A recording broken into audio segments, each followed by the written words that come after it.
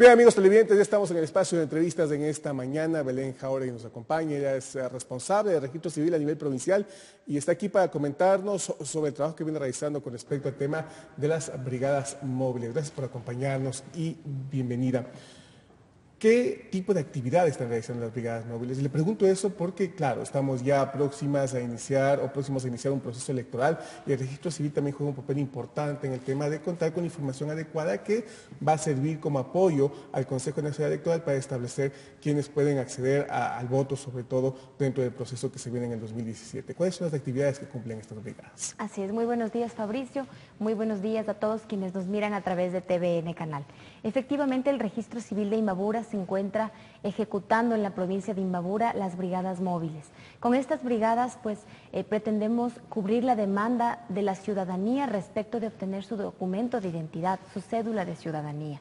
Entonces nosotros eh, procuramos siempre estar cerca del ciudadano, trasladándonos al territorio y haciéndoles llegar nuestros servicios a través de estas brigadas móviles.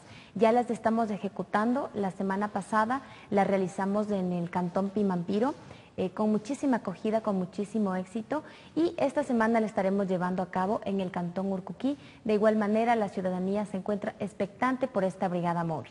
¿Qué tipo de servicio específicamente? Entonces, cedulación, registro, partida de nacimiento, ¿qué tipo de servicio está prestando las brigadas? Bueno, estas brigadas bien pueden ser sobre inscripciones de nacimiento o brigadas de cedulación. En esta ocasión estamos llevando a cabo lo que es las brigadas móviles de cedulación, tanto cedulación por primera vez como cedulación por renovación tienen un objetivo, un número objetivo de personas que tienen que acceder a este servicio. Bueno, diariamente nosotros en una brigada móvil eh, llegamos a cedular alrededor de 50 personas. Eh, manejamos este número en vista de que nuestro funcionario encargado de las brigadas móviles realiza el mismo procedimiento que realiza en cualquiera de nuestras agencias valida la información del ciudadano, eh, toma la fotografía, realiza la captura de huellas. De igual manera el usuario tiene que cancelar por el servicio que está recibiendo.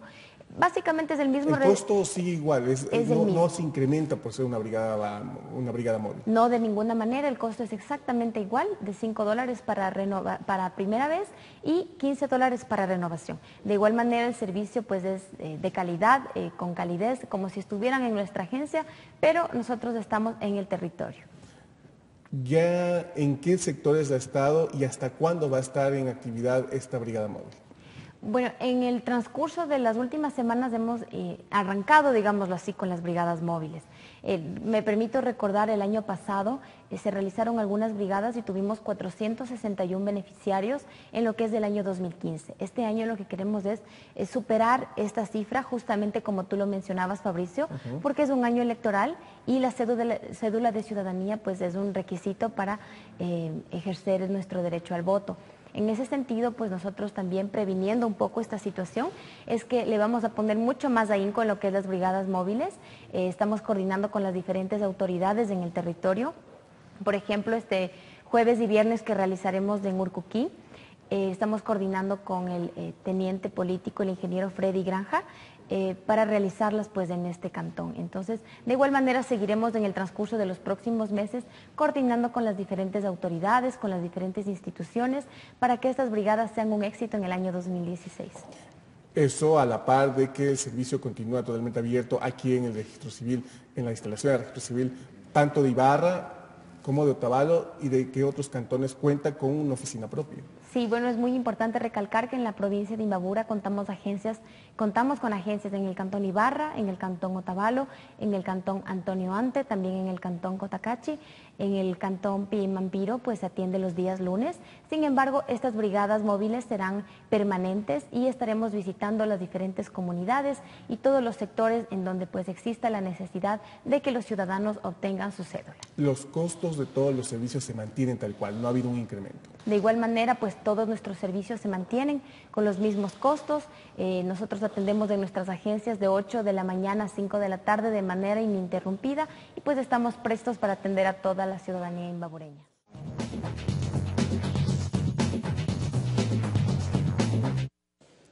Estamos de vuelta amigos televidentes y hoy tenemos casa llena en nuestro espacio de Café Noticias. Nos acompaña el coordinador zonal de educación, el coordinador también de Cenecida a nivel zonal, gerente de TVN Canal también está presente esta mañana.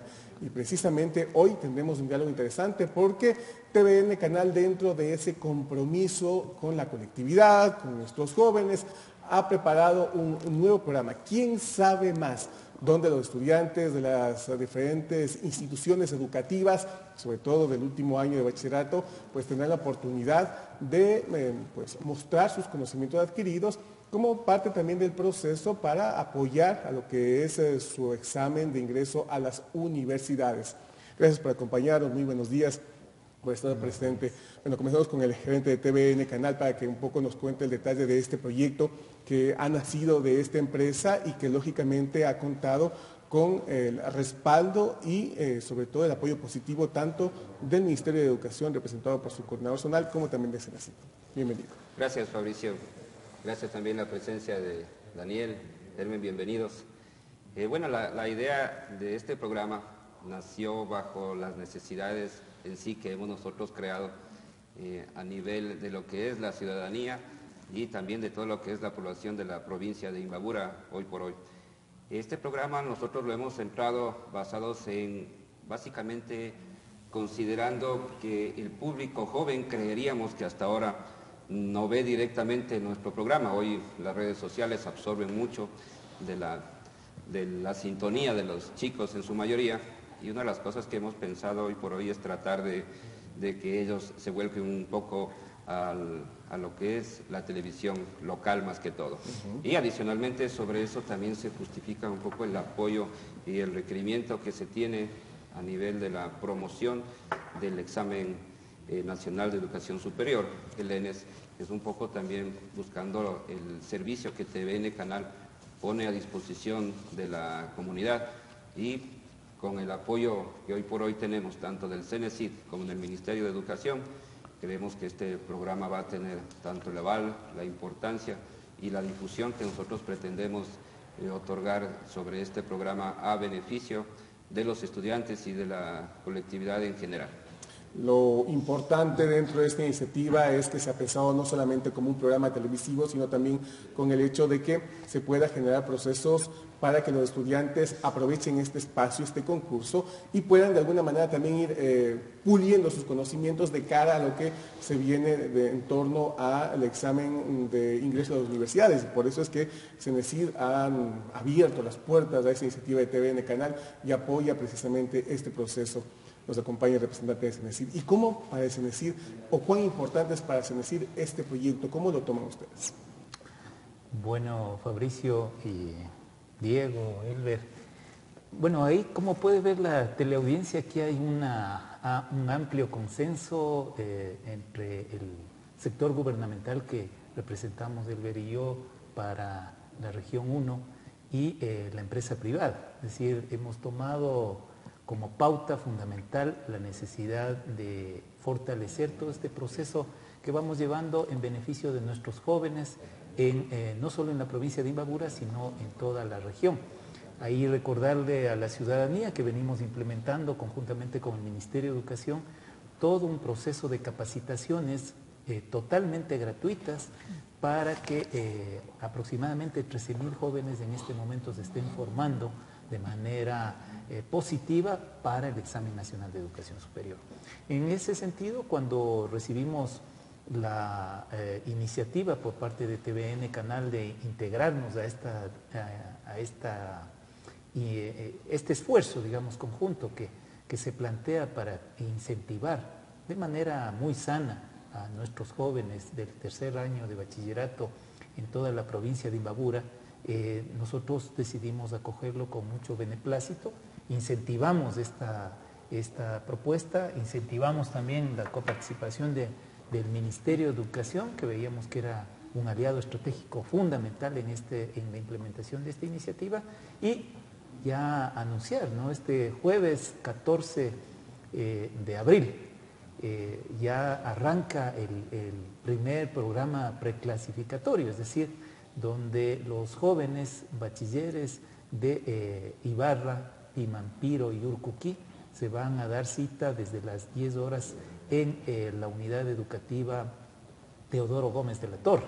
Y el día viernes 15 se realizará ya el, evento para las unidades educativas de, la, de los cantones Otavalo, Antonio Ante y Cotacachi en el, el, Ulpiano de la Torre, en Cotacachi, igual a las 10 horas. Entonces, este ha sido un proceso muy, muy formal, muy serio, tiene una reglamentación específica, tiene unas bases de concurso, ha sido socializado de manera conjunta eh, por TVN, eh, eh, eh y, Ministerio, y el Ministerio de Educación con los rectores de todas las unidades educativas. Aquí también para que nuestros televidentes puedan tener una constancia, hemos tenido reuniones muy pormenorizadas de información con cada uno de los rectores, tanto de unidades fiscomisionales, fiscales y particulares de la provincia de Imbabura. Entonces, absolutamente está convocada toda la, eh, todos los eh, jóvenes bachilleres de la provincia y eh, van a contar con el aval específico de la CENESID y el Ministerio de Educación para el efecto. Es un tema muy importante y precisamente el Ministerio de Educación de alguna manera ha sido este enlace, este nexo para que las instituciones educativas conozcan. Recientemente, hace algunos días, la semana anterior, se realizó una primera socialización con los rectores. ¿Cómo lo tomaron ellos? ¿Cuánta, eh, ¿Cuánto interés generó esta propuesta entre las instituciones educativas? Bienvenido. Bueno, primeramente agradecerle a este canal y al igual que a Diego y a Daniel por esta iniciativa. Nosotros como Ministerio de Educación estamos muy preocupados por la preparación diariamente de los, de los niños y niñas que están en nuestros establecimientos y sin duda ninguna esta es una alianza estratégica que venimos trabajando con el CNC hace mucho tiempo porque no dejamos suelto a nuestros chicos. Ya preparamos hace unos meses atrás en toda la zona a los maestros y maestras justamente en algunas áreas para que vayan trabajando en el mejor rendimiento de los chicos y chicas que vayan a la universidad y ahora nos parece muy interesante esta propuesta que no dudamos en el Ministerio de Educación poder, poderla evaluar y poderla también apoyar. Nosotros vamos a dar todo el contingente, nuestro apoyo como Ministerio de Educación para que esta iniciativa se lleve adelante. Es fundamental también lo que estamos recogiendo, el pueblo y nacionalidades que estén también dentro de este, de este programa, al igual que equidad de género, que nos parece muy fundamental, y sobre todo, más bien ahora nos queda, es como dijo Daniel, que la familia, los chicos vayan ya acomodándose también de acuerdo a su agenda, a su agenda para que vayan viendo este programa que es sumamente importante en su preparación. Entonces nos parece este, interesante esta iniciativa que estamos llevando en conjunto, tanto este canal como el CNCI y el Ministerio de Educación para la preparación de los jóvenes. Es muy importante. Para TVN Canal este es uno de sus proyectos más importantes y está exigiendo al medio de comunicación de la empresa un esfuerzo eh, pues, de gran magnitud porque el manejo de un número importante de instituciones educativas, de muchos chicos, de diferentes procesos clasificatorios, finales, en fin, es algo que no se ha hecho aquí en la provincia de Imbabura y este es un precedente importante. ¿Cómo se está preparando TVN Canal, la empresa, para lo que va a ser este reto? Bueno, TVN Canal viene ya preparando este programa desde hace aproximadamente un par de meses, eh, generando las estructuras necesarias para el sostenimiento como tal de él, el, desarrollo de los, de los, espacios, de los ambientes donde se requiere la difusión del, del programa. Y sobre todo estamos trabajando muy fuertemente en el tema del soporte que necesita TVN Canal para poder difundir, para poder conseguir los recursos igual para su para su transmisión y producción, y de hecho está muy involucrada también la, empresa privada en este sentido, a quienes hemos estado y seguimos a través de una campaña de comercialización como tal de, este nuevo producto innovador por parte de TVN Canal, y creeríamos nosotros también que va a ser algo muy importante a nivel de difusión nacional. la coyuntura lograda a través de esta alianza estratégica entre entidades del Estado y la empresa privada, consiguiendo un objetivo común, que es el tema del apoyo al desarrollo y sobre todo la socialización que requiere de un importante evento como tiene que darse para el, desarrollo de, este examen para el beneficio de los chicos en el futuro, consideramos que tiene la justificación necesaria para todo el esfuerzo conjunto que hoy por hoy estamos haciendo. Es un programa concurso. Es un programa concurso, es un programa concurso que viene de un proceso inicial sin ningún tipo de discriminación, de eso partimos y eso ha sido una de las razones por la cual hemos pedido el involucramiento principalmente del Ministerio de Educación, porque es para que todos participen. Este proceso de participación está orientado hacia los estudiantes que están cursando el tercer año de bachillerato y arrancamos con un total de 97 entidades educativas aquí en la provincia de Imbabura, dividida en tres distritos, el cual, como yo lo había explicado Daniel, entra en un proceso preclasificatorio en esta semana, del cual saldrán 12 eh, entidades educativas para rendir ya la prueba final, que es lo que va a ser ya transmitido directamente por TVN Canal a partir del 24 de abril, el domingo 24 de abril, a partir de las 8 y media de la noche, estaremos transmitiendo ya el primer programa de un total de ocho programas.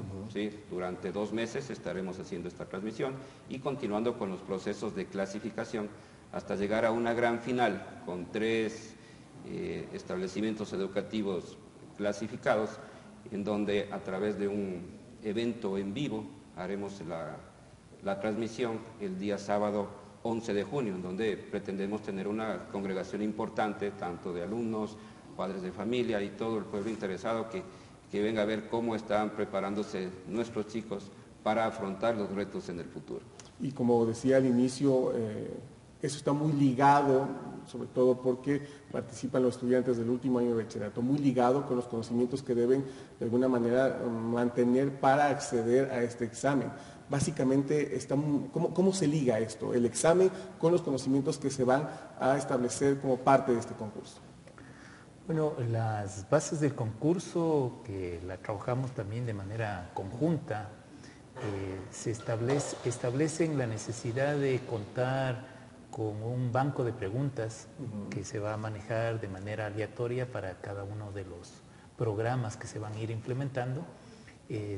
tienen, eh, el componente son cuatro componentes básicamente. Los tres de razonamientos que utilizamos para el examen nacional de educación superior, que es razonamiento numérico, abstracto y verbal, 30 preguntas en cada una de, esos componentes y, y 30 preguntas también de eh, cultura general. En ese sentido, lo que estamos tratando eh, es de incentivar a los chicos y chicas que eh, van a participar en esta iniciativa que se condense de manera positiva todo este esfuerzo también previo que hemos generado con las capacitaciones, que se han realizado a lo largo y ancho de la provincia de Imbabura y que en este momento llaman mucho la atención. Hay que volverle a recordar a la ciudadanía que el examen nacional de educación superior será el 18 de junio próximo. Entonces los jóvenes están preparándose, vemos con, con mucho interés que, van a, que va a haber entusiasmo también con esta iniciativa y que en la dinámica estaremos coparticipando también la CENESID y el Ministerio de Educación como eh, calificadores también de este proceso. Es decir, no es un proceso abierto, sino que más bien es un proceso cerrado, preseleccionado, con participaciones de un representante por cada unidad educativa, con tres jóvenes de apoyo para ese, para ese efecto y que indudablemente van a contar con nuestro seguimiento institucional. hemos preparado, vuelvo a reiterar también, conjuntamente con el Ministerio de Educación, todo el banco de preguntas correspondiente para que eh, esto tenga eh, toda la transparencia también del caso. Es decir, eh, el hecho de que CENESID y el Ministerio de Educación estemos colocando nuestra representación institucional en este programa también garantiza la total transparencia y el, el esfuerzo mancomunado que estamos haciendo para que nuestros jóvenes, sobre todo nuestros jóvenes, se vean incentivados con esta iniciativa, se vean convocados con esta iniciativa y que generemos una sana competencia entre las instituciones de educación superior de la provincia de Imbabura. En nivel de instituciones, ¿cómo seleccionan a los participantes? Es decir, supongo que va a haber eliminatorias internas, se habla un poco de esta dinámica para que la institución cuente con su participante tanto en el proceso clasificatorio como ya en los programas en sí. Sí, este, específicamente lo que hemos dicho acá, este, estamos siguiendo una agenda y justamente ahora ya arrancamos a partir del día de hoy, que ya hemos hecho esta, esta entrevista, comenzamos también ya en, cada uno de los colegios que tenemos bachillerato en las 97 unidades educativas ya puede pues, clasificar a los estudiantes y también con sus respectivos apoyos. Yo creo que en este momento más bien ya nuestros maestros y maestras comienzan a identificar a aquellos chicos que tienen muchas más habilidades y estrategias para estos tipos de programas y también comienzan ya a trabajar algunos círculos de lectura para poder también acompañar a lo interno en cada una de las instituciones y en, las diferentes áreas a estos chicos que van a participar. Pero lo fundamental acá es que esto nos va a permitir, este programa, es poder desde este espacio también y de los chicos que no pueden participar, pueden estar eh, siguiendo el programa y, les le sirve para la preparación para poder enfrentar este examen.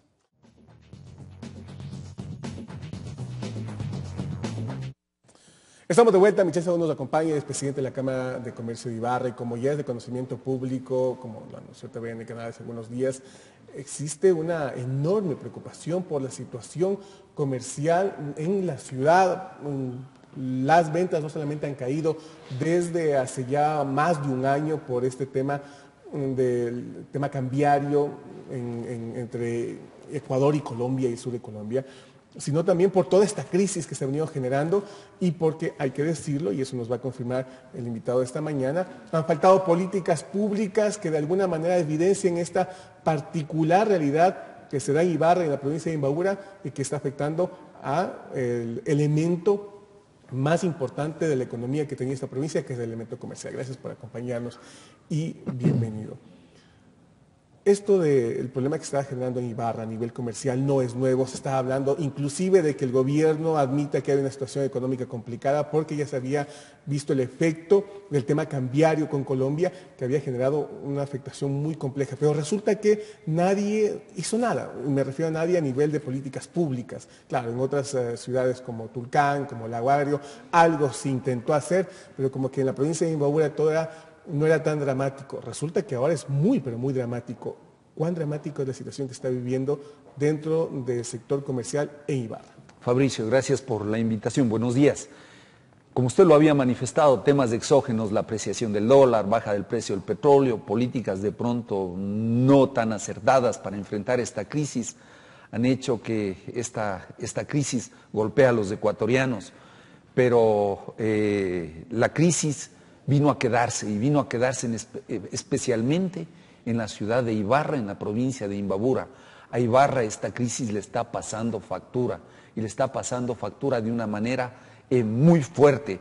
Eh, Ibarra está constituida ya hoy más que nunca en una ciudad de paso. Por lo que usted comentaba al inicio, Fabricio, nosotros miramos esa, ese éxodo, ese turismo comercial que viene de la costa, del centro del país, pero pasan por Ibarra y en Ibarra no se quedan. Ibarra está constituida en una ciudad de paso. Y no hay... alimentan, porque en Tulcán los hoteles, en cambio, están con una muy buena cantidad de personas, pero... Es, lo, que usted, es, lo que usted dice, Fabricio. Mire, eh, la gente no, no viene a quedarse, a hospedarse en, Ibarra, el sector turístico que, o el sector hotelero que de alguna manera tendría que, que aprovechar este, este éxodo. No ocurre así. La gente eh, programa para ir a, hospedarse en Ipiales, en Tulcán. Eh, la, situación de Imbabura es más seria que la provincia del Carchi, inclusive, siendo una frontera directa, Ibarra es una frontera viva. Es más difícil que la situación del Carchi porque Carchi al menos es una provincia agrícola, ganadera. Ibarra, la ciudad de Ibarra es una ciudad netamente comercial.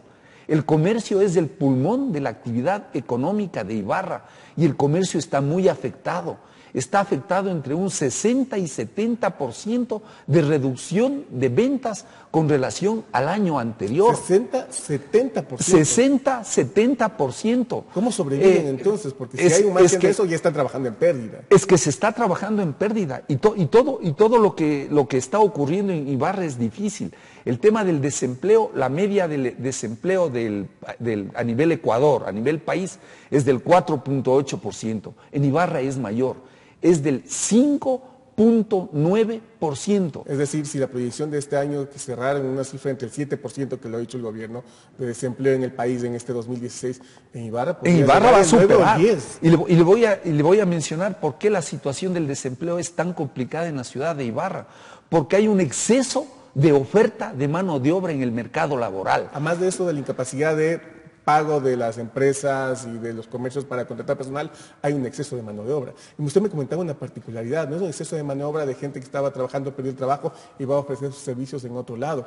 Es una gran cantidad de migrantes, ya no solamente colombianos, sino otros países que están viniendo a Ibarra. Es así, Fabricio. Mire, eh, primero que todos tenemos derecho al trabajo, pero tenemos derecho a un trabajo eh, ordenado, serio, respetuoso, no a contratar un trabajo desleal. ¿Qué está ocurriendo en Ibarra? Tal es la desesperación, el imán del dólar, que, bueno, eh, hay que mantener la dolarización. La dolarización nos permite eh, eh, apostar a una inversión a mediano, a largo plazo, pero aleja el fantasma de los fantasmas que vivíamos en la, cuando manejábamos la moneda del sucre, de las macro devaluaciones e inflaciones.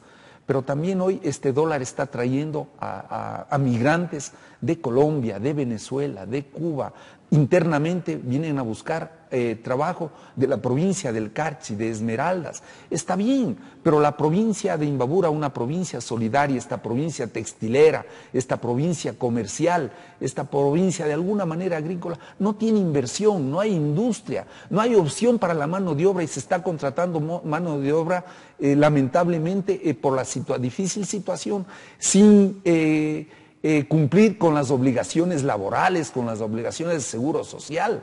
Y, usted mire los almacenes de empleados que, de, migrantes que, que, lamentablemente no, los empleadores en algunos casos, en pocos, pero está afectando se está generando una competencia desleal por este tipo de contratación. Precariedad laboral nuevamente en un país donde se suponía que se había erradicado esa situación. Fabricio, la crisis que está viviendo el país, la crisis que está viviendo Ibarra es más crítica que la crisis del 2000 que fue en la transición hacia la dolarización. Nosotros en Ibarra hoy vemos como nunca eh, actividades comerciales cerradas, locales comerciales cerrados, muchos locales en arriendo. Existen cualquier cantidad de emprendimientos y negocios que se han cerrado. La situación es crítica. Como Cámara de Comercio de Ibarra hemos hecho muchísimos esfuerzos. Estamos haciendo esfuerzos para un poco campañas de concienciación, de, ofertas, de promociones serias, pero ante ese 3 a 1, que es el tema del diferencial cambiario, eh, siempre eh, por cada unidad de dólar americano, el, cambio con Colombia es de 3.100, 3.200, 300, fluctúa. Ese, ese, diferencial cambiario hace que los ecuatorianos, los ibarreños, todos estén eh, apostándole por ese mercado paralelo. Y el comercio en Ibarra está golpeado. El comercio es el ancla para todas las actividades. Y en Ibarra el comercio está mal, está mal el transporte está mal los servicios, si la construcción está mal, todo es una cascada, una cadena. No hay trabajo para los plomeros, para los albañiles, para los carpinteros. La situación es difícil, si bien no es cierto. Crédito también. Fabricio, lo que usted dice en Ibarra es, impresionante lo que ocurre. Hacer un llamado al, sistema financiero en Ibarra. Eh, nosotros vemos que en Ibarra hay una particularidad. A usted a Ibarra le ve crecer, ¿por qué razón? Le ve crecer, pero no le ve progresar. Ventajosamente, de alguna manera, eh, a Ibarra, eh, eh, otras provincias están apostando a, impulsar, a crear su patrimonio en Ibarra. muchas personas en el Carchi o, en otros cantones de la provincia, en Antonio Ante, en Otavalo, trabajan, producen y quieren apostarle, quieren levantar su patrimonio en Ibarra, porque es una ciudad de oportunidades porque no las estamos aprovechando por su clima, por su entorno, por, su, por, una ciudad de universidades, eh, estratégicamente bien ubicada, cerca de la frontera, cerca a la capital, cerca a la salida al mar. Pero, pero a Ibarra no se le está dando la atención que se le debe dar. Y cuando hablamos de no se está dando la atención, nos referimos al tema ya de responsabilidades de autoridades. Y le pregunto esto porque este tema ya se lo venía anunciando hace un año y medio atrás, es decir, no es un tema coyuntural, como muchos dicen, no, es que la crisis la afectó Ibarra, no, esto ya se venía hablando casi un año y medio, dos años atrás, y se pedía a las autoridades que eh, generen políticas públicas para que desde el ente gubernamental se establezcan alternativas como se establecieron en otras ciudades. La pregunta es, a lo mejor las autoridades de la provincia de Imbabura no concibieron la magnitud del problema y no pudieron trasladar esa magnitud del problema al gobierno para que se establezcan esas políticas? Coincido, coincido con usted, Fabricio. ¿Ya han fallado las autoridades de la a, eh, yo creo, yo creo que yo creo que este tema es un tema de, de compromiso y de empoderamiento de todos. La responsabilidad no solamente son de las autoridades, que sí, vale, es, oportuno hacerles un llamado para que de alguna manera entiendan eh, la magnitud del problema que está viviendo Ibarra. Esta vimos algunos negocios clausurados por el servicio de rentas internas. Fabricio, ¿cómo, ¿cómo, es posible que en, la crisis que estamos viviendo exista un... Está bien, está bien el tema de la cultura tributaria. El control está bien. El control está bien, controlar el tema de la evasión, pero pensamos que en crisis eh, la solución es otra, ¿no es cierto? Eh, si usted le pone salvaguardias a las importaciones, si usted le pone más impuestos a la actividad comercial, le está ahogando a la actividad comercial, lo que está es encareciendo el, mercado, el producto. Y todo esto, ¿a quién se lo traslada los precios y los, los costos? Al consumidor. Y, más impuestos y más salvaguardias, lo único que hace es incentivar el contrabando y liquidar más la situación económica, social de la ciudad de Ibarra, de la provincia de Imbabura. Como Cámara de Comercio vamos a, nuevamente hacer un llamado a las autoridades que entiendan que Ibarra está en SOS. Ibarra está viviendo una crisis dramática. La situación no solamente del desempleo, de iliquidez, la situación de, falta de ventas. Hoy los restaurantes están en crisis. Hoy el sector público los, eh, ya, ya, no van a los restaurantes a, a su lunch Simplemente cogen y llevan ya su lunch preparado desde casa. La gente ya no compra, ya, ya, ya de alguna manera eh, eh, arma sus prioridades. El tema, el comercio está afectado porque ya eh, el comercio ya está tan asfixiado que ya ni siquiera hemos decidido vender ya ni siquiera con tarjetas de crédito, porque además de la baja del, comercio, la tarjeta de crédito tiene un costo de un 8% de, de utilización de la tarjeta, la retención del IVA. El tema es difícil, la situación comercial de los ibarreños es difícil. Y la solución, obviamente, que le den un trato similar como le dieron a la provincia del Carchi, Fabricio. Vamos a insistir, nosotros nos reunimos ya con las autoridades del SRI, con el Ministerio de, Coordinador de la Producción, nos acompañó el señor prefecto Fuimos junto con las autoridades de la Cámara de Comercio, con el licenciado Pablo Jurado al SRI. Estamos en una propuesta desde el gobierno provincial. Hago un llamado al señor alcalde. Juntemos esfuerzos, no, no actuemos aisladamente. Las responsabilidades de todos, las responsabilidades de, gobernantes gobernados, de empresa privada, sector público, las responsabilidades de todos. tenemos que plantear soluciones como la eliminación del anticipo del impuesto a la renta, eh, como se lo está haciendo en la provincia del Carchi, el tema de la eliminación de las salvaguardias, el tema de una oxigenación al, al sector comercial de Ibarra que le permitan importar sin salvaguardias y con cierta preferencia a la provincia de Imbabura como lo están haciendo con la provincia del Carchi. La situación de Imbabura es muy seria, Fabricio. Es, insostenible. complejo y es, es un tema de más impuestos, de más acoso.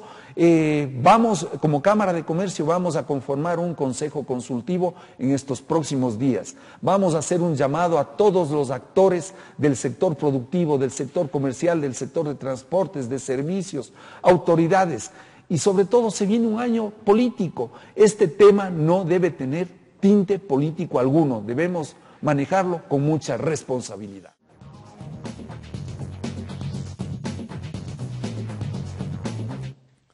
Estamos de vuelta, Lenin Hurtado nos acompaña esta mañana, el precandidato a la presidencia de la República por Unidad Popular. Gracias por acompañarnos y bienvenido.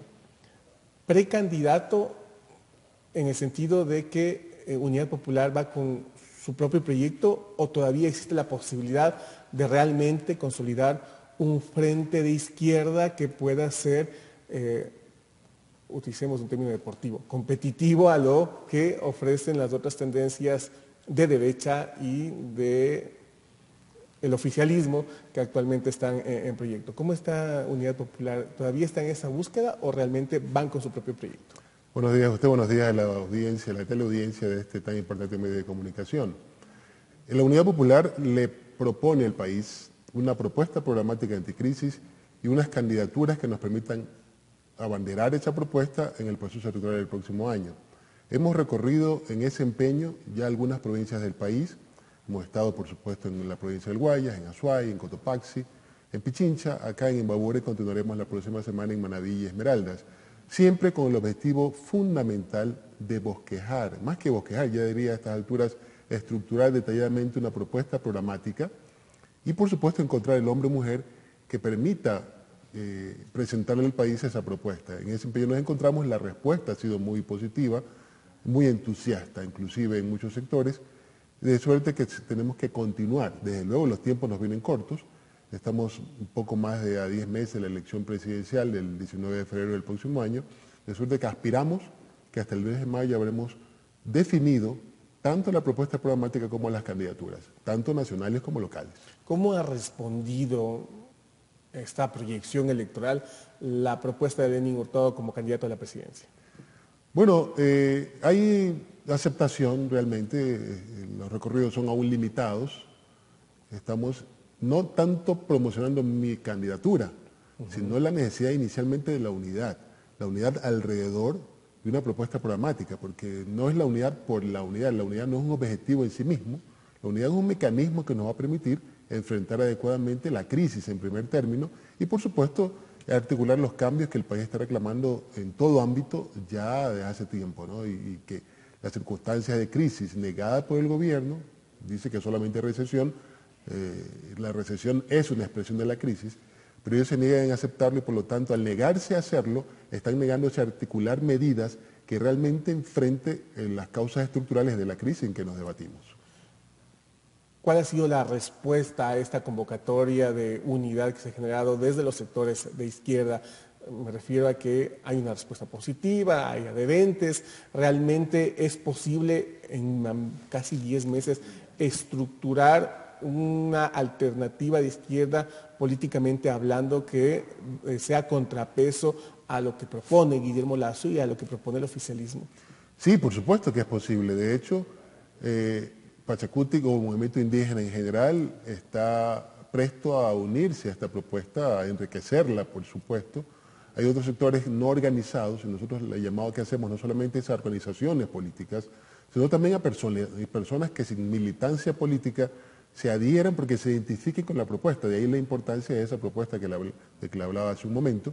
Suerte que eh, esa es la intención, porque muchas personas sin esa militancia pueden contribuir en la propuesta inicial y por supuesto tener un perfil adecuado como para confiarle las candidaturas presidenciales, las candidaturas a la, Asamblea Nacional, que es tan importante la captación de la presidencia de la República como recuperar la función legislativa realmente neutralizada. Y esa es la principal propuesta porque de alguna manera el gobierno inclusive ha aceptado de alguna manera que en el próximo proceso electoral tienen posibilidades en caso de que se confirme la candidatura eh, de Lenín Moreno de llegar a la presidencia nuevamente, pero como que de alguna manera aceptan, inclusive la presidenta de la Asamblea en este viaje que hizo a Rusia o Bielorrusia, señalaba que, o ella decía que el peligro es que se pierda la Asamblea Nacional en el próximo proceso electoral. Ustedes le apuestan a eso, a recuperar la Asamblea como un primer paso. A recuperar el país en general. Por supuesto, hablamos de la presidencia de la República, es importantísimo pero tan importante como la presidencia, insisto, es la Asamblea por la sencilla razón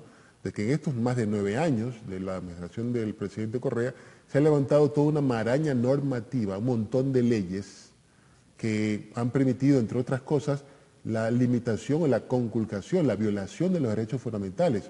Cito un ejemplo que le, le llega muy de cerca a ustedes como medio de comunicación, que es la ley de comunicación. Esa ley que es una obligación constitucional, pero que está aprobada en detrimento de los derechos fundamentales. Por lo tanto, esa ley tiene que ser derogada, aprobada una en plena consonancia con los preceptos constitucionales y los tratados de derechos humanos que el Ecuador es suscriptor.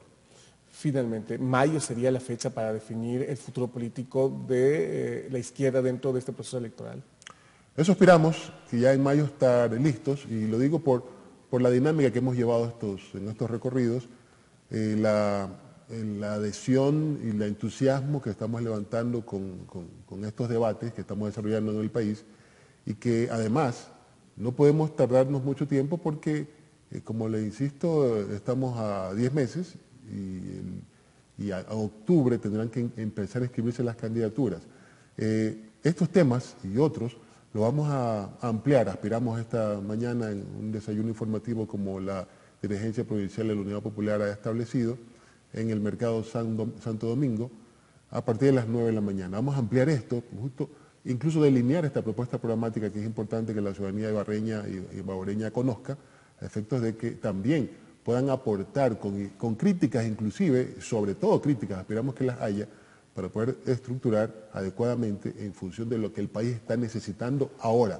No podemos esperar, eh, por supuesto, el próximo año que no haya país que recuperar. Hemos hecho una propuesta ayer, muy brevemente le señalo, en Quito, en el, Servicio de Rentas Internas, una propuesta alternativa al decimotercer paquetazo tributario que el, el, gobierno le ha presentado al país y que está en discusión en la Asamblea Nacional.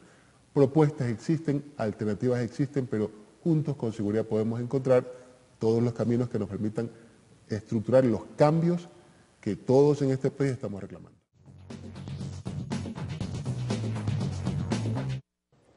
Estamos de vuelta, nos acompaña Belén Guerrero. El próximo 7 de mayo se va a realizar en la ciudad de Quito, específicamente en la Plaza Cultural del Mundo, un importante y por el contexto mundial necesario evento. Se llama el Festival por la Paz. Gracias por acompañarnos y bienvenida.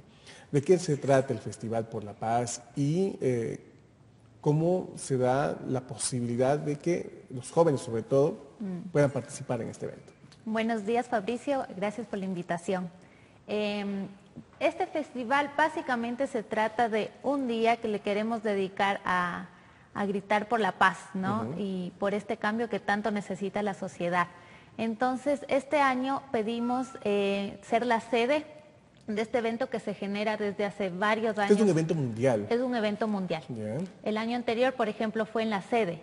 Eh, y parte desde el 2012 eh, en Hungría, en Budapest, cuando presentamos 12.000 chicos, de los cuales pude ser parte, em, a la ONU en nuestra propuesta de generar una semana que se llama la Semana Mundo Unido, para meternos en todos los campos que podamos, políticos, económicos, de comunicación, para gritar sobre la paz, que los jóvenes estamos unidos por la paz. Es una actividad de jóvenes, hablando por, la paz, por temas de la paz.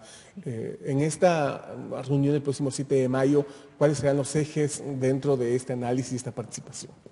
Nosotros básicamente lo que queremos eh, durante el festival, que será el, 7 de mayo, es topar temáticas eh, en base a todos, en todos los campos que antes mencioné, donde podemos involucrar un poco más del diálogo. Hacer propuestas.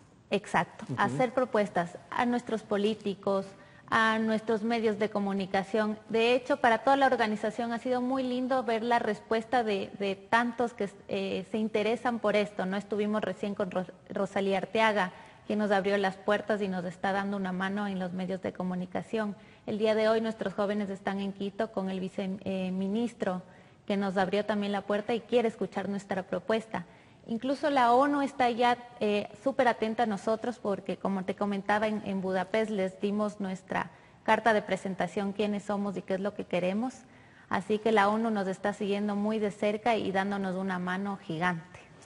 ¿Qué jóvenes? Es decir, para participar en un evento de esta naturaleza, eh, ¿tienen que pertenecer a alguna organización, eh, no sé, a alguna institución? ¿Cómo es la participación? Realmente nosotros somos como un, colectivo, un grupo de jóvenes que nos llamamos, nos llamamos Jóvenes por un Mundo Unido. Entonces, todos los jóvenes que estén interesados en seguir nuestra propuesta eh, pueden unirse a nosotros. Nosotros estamos en el Ecuador en varias ciudades, Riobamba, Ambato, Quito, Guayaquil e Ibarra. ¿Dónde tienen que hacerlo? ¿Con quién pueden contactarse? Bueno, en Ibarra pueden hacerlo a través de mí, que ahora estoy como vocera. Eh, les puedo dejar mi número de contacto, me pueden encontrar en Facebook como Belén Guerrero y les puedo ir ampliando toda la información de quiénes somos. Ahora por el evento tenemos una página web que está disponible donde pueden encontrar videos y referencias sobre nuestra historia y sobre todo el trabajo que hemos hecho en diferentes países del mundo. Eso es muy importante. Y previo al festival tienen algunas actividades como, no sé, de preparación. ¿Cómo, es este previo a este Festival por la Paz? Em, realmente toda esta semana lo que se va a hacer son dos recorridos eh, interculturales dentro del país, que está sobre todo promovido para chicos universitarios y para extranjeros. Tenemos inscritos a un chico coreano, a dos africanos, em, un austriaco y bueno, 20, de Perú y otro poquito más de internacionales, pero también un grupo de chicos jóvenes de aquí del Ecuador, los cuales van a hacer un recorrido por diferentes comunidades indígenas afroecuatorianas de nuestro país para evidenciar esta riqueza que tenemos en el Ecuador, que es la de la interculturalidad, ¿no?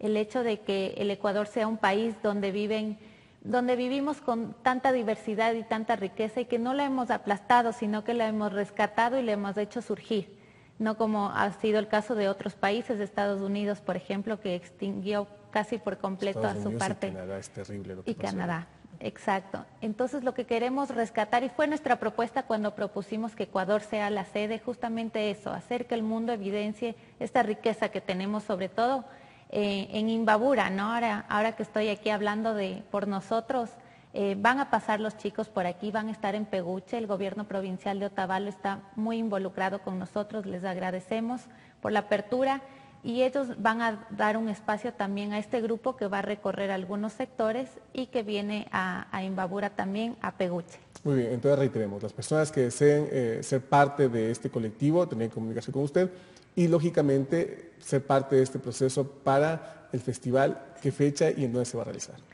El festival va a ser el día 7 de mayo en la mitad del mundo a partir de las 9 de la mañana hasta el mediodía. Va a ser un evento lindísimo, diferente, lleno de música, de presentaciones y también de, diálogo ¿no? sobre esta propuesta de la paz, de eh, la presentación de lo que hacemos y vamos a estar conectados eh, con los 196 países donde estamos para que Sí, para que se nos escuche también a nivel internacional, así que contamos con su presencia para que sea un evento que llame la atención, ¿no? Porque eso es lo que necesitamos, que llame la atención.